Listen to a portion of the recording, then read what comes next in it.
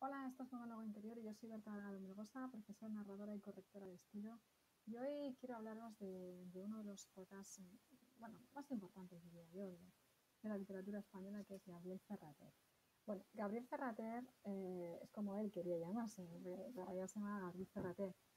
Eh, nació en Reus en 1922 y, bueno, nació en una familia bien, no fue un gran estudiante, estudió matemáticas también, eh, pero lo que sí que era un grandísimo lector, un hombre muy inteligente.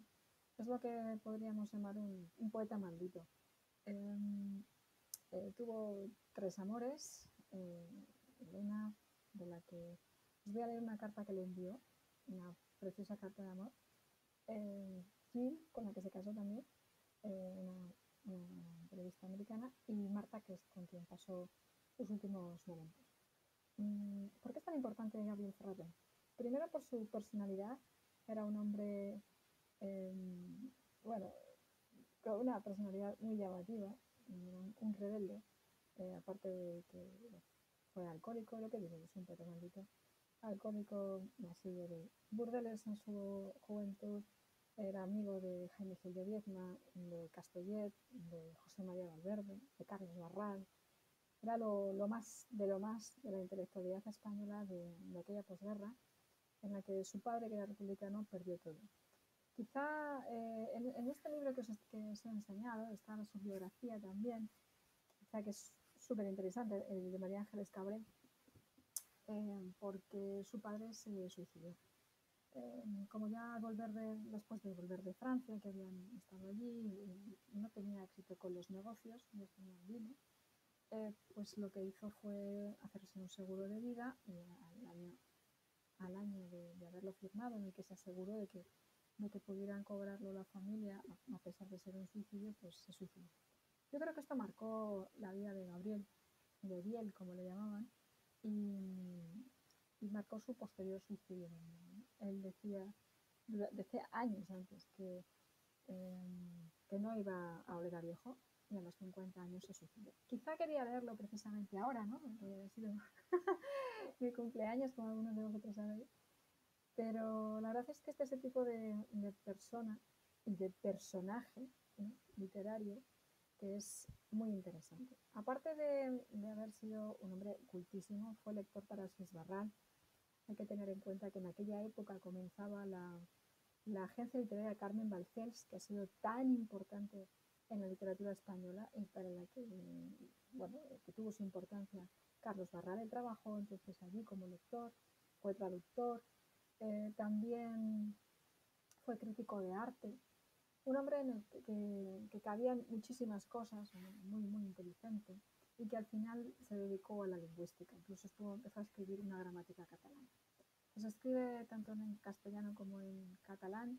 Eh, y, eso, quería que se acercarais a su obra porque es eh, absolutamente fantástica. Él era un, eh, muy devota de la literatura y de la poesía medieval y, mm, y, leía todo lo que pasaba por sus manos. Entonces yo quería leeros hoy precisamente para que, para que le conozcáis un poco mejor. Eh, una carta que escribió, como os decía, Elena eh, en septiembre de 1962. Querida, tu carta se me ha subido un poco a la cabeza, como un alcohol. Iba a decirte que me ha llenado de alegría, pero no es eso. Precisamente sigo sin tener ninguna ganas de reír. Probablemente es que me ha dado esperanza, algo muy absurdo. En Barcelona encontrarás una carta que te escribí cuando me marché, donde te sugería que vinieras un día a Calafé. La verdad es que la escribí por aquello de no dejar nada sin intentar, pero desanimado, con el pleno convencimiento de que yo no te vería más. Ahora tu carta parece apuntar un poquito de posibilidad distinta. No, no te odio, ni te menosprecio. Aunque para ser honesto, objetivamente considero que la carta que me escribiste el 27 de agosto era una pequeña mala acción. Pero como no tengo nada para el espíritu de reivindicación de justicia, no es precisamente esto lo que me da dolor de cabeza. Por otro lado, comprendo que lo hiciste sin darte cuenta y que ahora te debes preguntar de qué te hablo. Estas cosas se hacen siempre por un fallo de la imaginación. Claro está que la falta de imaginación hacia los demás siempre ganas de no tenerla. En fin, no vale la pena hacerse mala sangre. Todo esto es agua pasada. En cuanto a mi estado de ánimo, ¿qué quieres que te diga? Está hecho sobre todo de perplejidad, es decir, de una cosa como muerta y sin respuesta. Pocas veces se debe de haber dado el caso que en una pareja pase algo, se rompa, habría dicho antes de recibir tu carta. Ahora ni siquiera sé si puedo decirlo. Y que uno de los dos sepa tan poco qué ha pasado como por qué. Es como darme cabezazos contra la pared. Los primeros ocho días, de miércoles a miércoles, fueron horribles. Aprendí cómo se puede sufrir. Al octavo día cuando escribí a Quita. Pero como no había dormido, se puede decir nada, al noveno día el cuerpo se impuso y dormí 16 horas. Y después tuve dos o tres días animados y tranquilos, y pensaba que todo había acabado. Después he recaído, pero con menos gravedad. Lo jodido son las noches. No tenía ninguna experiencia en no poder dormir. Llevo 24 días y estoy agotado. La pobre Marilyn lo debía pasar realmente mal. Los soporíferos, tomándolos cada noche, solo hacen efecto cada cuatro o cinco días. Perdón, cada cuatro o cinco noches. Todo esto son puñetas, ni siquiera es piti, solo puñetas. Pero ¿de qué quieres que te hable? Lo jodido es esto, que no sé nada y no puedo pensar en nada. Tu postal del otro día y la carta de hoy parecen apuntar que ni tan solo puedo pensar que al menos tú eres feliz y estás contenta. Si a ti te hicieran pasar lo mismo que a mí, sería demasiado sarcasmo. Ya te debes imaginar que tanto como he podido, he puesto en marcha la razón contra ti, y me he dicho de ti todas las maldades que he sabido inventar. Pero no me ha servido de nada. La verdad es que ya no sé si te quiero o no, pero esto no marca ninguna diferencia. He descubierto que hay algo fundamental. Quiero decir, que cuenta más para el régimen de la vida, y es que solo contigo podría hablar de algo vivo. Dicho de manera sentimental, que solo contigo podría creerme que soy buena persona. Para los demás, soy una mala bestia total. Si ahora hiciera el amor con otra chica, sería como hacerlo con un perro. En resumidas cuentas, que la cosa que me ha quedado más afectada es el respeto a mí mismo. No es que me tuviera demasiado, ya lo sabes, pero ahora realmente no me encuentro por ninguna parte. Aquellos días en que te he dicho que me creía que todo estaba listo, me decía que sin embargo la desesperación es una especie de fuerza. No teniendo nada que defender, era invulnerable y me lo podía permitir todo.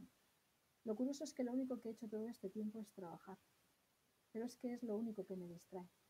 Me da pánico quedarme solo y pensar. Y con toda la gente que veo, incluidos los libros, me daría de hostias. Tener que salir a comer y tratar con gente es para mí un tormento. Bueno, todo esto era hace, hasta hace un par de días.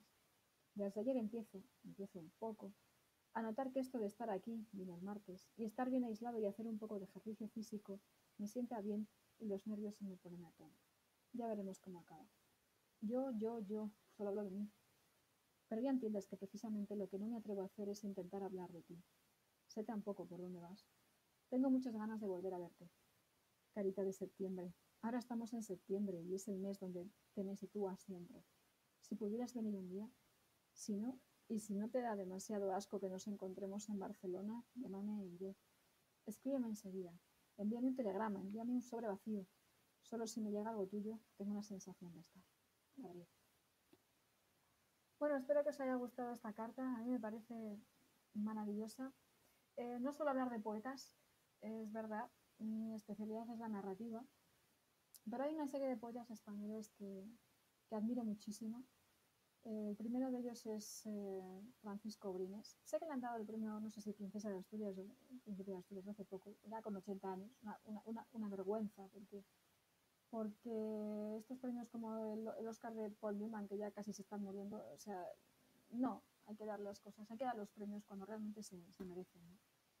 Francisco Villas para mí ha sido muy importante porque, porque era amigo de mi director de tesis, de David Pujante, y, y, he leído bastante a, a Brines en, el pasado. Eh, recuerdo leer Las brasas cuando murió mi padre y llorar. y, bueno, también su poesía morótica es, es fantástica, ¿no? que me recuerda a Cavafis, otro de mis grandes, eh, bueno, mi autor favorito, probablemente mi poeta favorito. ¿no? Pero decía dentro de los españoles, pues Luis Ternuda, por supuesto, y bueno, Pedro Salinas, me gusta el romancero, me gusta Garcilaso, me gusta Quevedo, bueno, me gustan muchas cosas, pero últimamente no estoy leyendo poesía, sobre todo, bueno, también me gusta mucho Nagmátova, que no menciona muchas mujeres, y, nada, solo quería que os acercarais a, Gabriel Ferrater. eh, no lo enseño más, así. es un hombre no sé, que sabe, que sabe llegar muy dentro y, y espero que os guste. Y nada, eh, nos vemos en otro momento. Espero que me sigáis en las redes, que suscribáis al canal en YouTube o me sigáis en mi página web, bertaargadomegosa.com. Un abrazo y hasta pronto.